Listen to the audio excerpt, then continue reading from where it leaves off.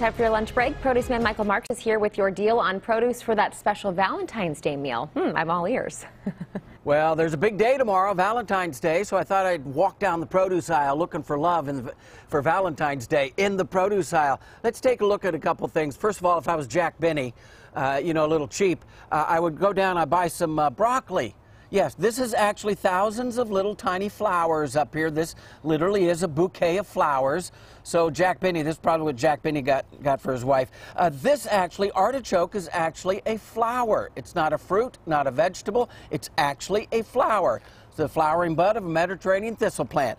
Uh, let's move on. If you love grapefruit, here's what I want you to do. Uh, and uh, your Valentine loves grapefruit always give your Valentine the blossom end of the grapefruit because you always cut the grapefruit in half, right? Right around the equator.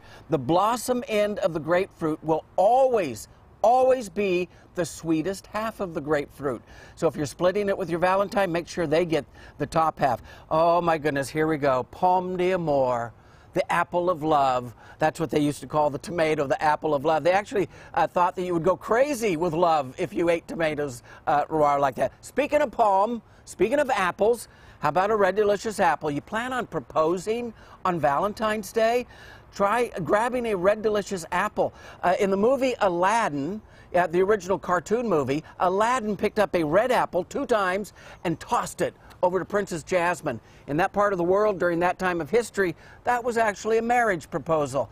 And that's how I proposed to my beautiful and lovely wife, Julie. Although she was smart enough to say, hey, I hope you toss me a diamond ring as well.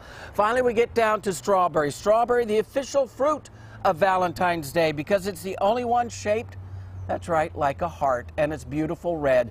And they do make beautiful strawberry, uh, chocolate covered strawberries, so uh, that's the perfect Valentine's uh, produce item right there. Hey, back to you guys.